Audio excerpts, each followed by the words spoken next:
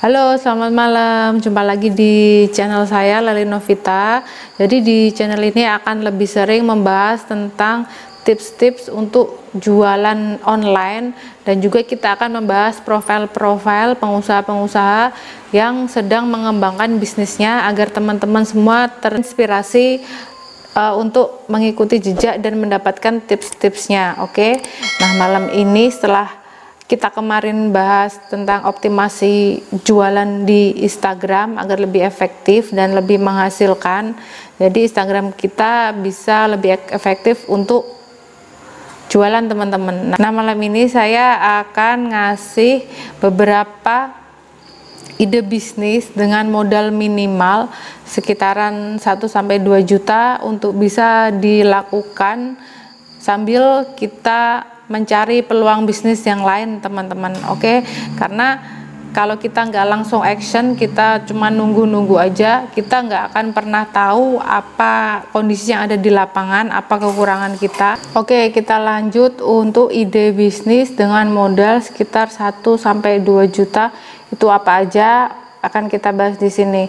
Yang pertama teman bisa menjadi reseller atau dropship produk-produk yang harganya uh, sekitar puluhan ribu atau ratusan ribu. Misalnya casing handphone kan sekarang banyak banget ya yang jualan casing handphone secara online itu membuka peluang dropship dan reseller ya.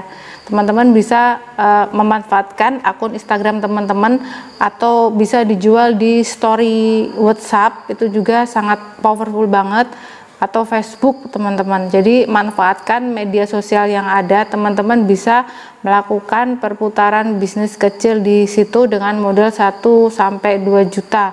Atau misalnya kalau nggak casing handphone teman-teman juga bisa jual baju slim atau baju anak ya sesuai needs market teman-teman. Kalau misalnya follower teman-teman itu teman-teman bisa lihat kisaran usianya sekitar 15 sampai 30 tahun mendominasi atau paling banyak teman-teman bisa pilih produk yang sesuai.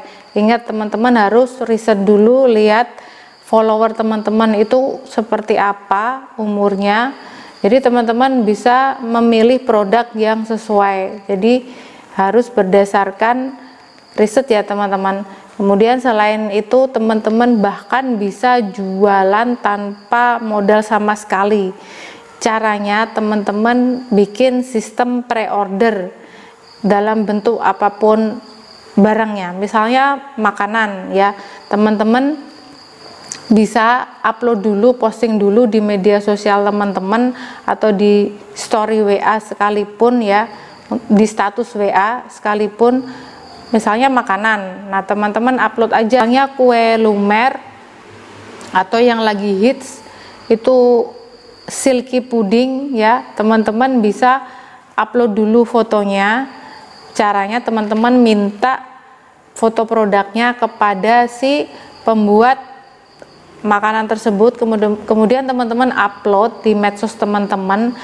Teman-teman kasih caption atau tulisan pre-order hari ini harga segini. Nah setelah teman-teman collect semua ada batasan waktu untuk order misalnya teman-teman posting hari Senin, Selasa, Rabu kemudian Kamis close order teman-teman langsung bisa kolek yang e, bisa pesan ke pembuat kue tadi atau kuliner tadi e, sudah mendapatkan barangnya atau sudah jadi teman-teman bisa mulai COD-an atau dihubungi satu-satu siapa tadi yang order dan hasilnya teman-teman bisa bayarkan ke pemilik barang tadi dan teman-teman ambil selisih untungnya.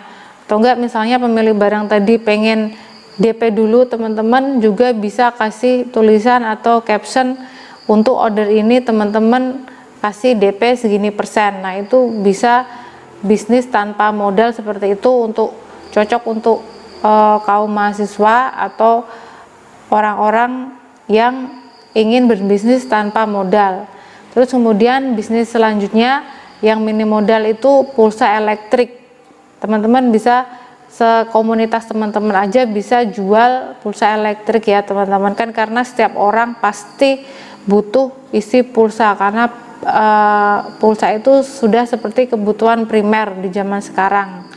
Nah, itu uh, tiga ide bisnis itu teman-teman bisa jalankan. Jadi bisa jualan reseller atau dropship, kemudian uh, pulsa elektrik bahkan yang tanpa modal teman-teman bisa bikin penjualan sistem pre-order ya teman-teman. Nah segitu dulu teman-teman. Saya cuman bahas tiga aja nggak usah banyak-banyak. Nanti teman-teman bingung karena semakin banyak option nanti teman-teman nggak akan langsung praktek. Nah saran saya teman-teman langsung praktek. Dan juga teman-teman mesti lihat ingin jual produk apa teman-teman riset di medsos teman-teman masing-masing. Misalnya Instagram seperti yang tadi saya sebutkan. Lihat dulu kisaran umur follower teman-teman berapa baru teman-teman bisa jualan sesuai target market teman-teman. Disesuaikan dengan barangnya. Dan untuk bagaimana cara jualan di Instagram atau bagaimana optimasi akun Instagram agar lebih efektif untuk jualan. Teman-teman bisa lihat di video saya sebelumnya saya sudah bahas oke? Okay? nah segitu dulu teman-teman. Terima kasih sudah menyaksikan. Jangan lupa komen like dan share. Terima kasih. Sampai jumpa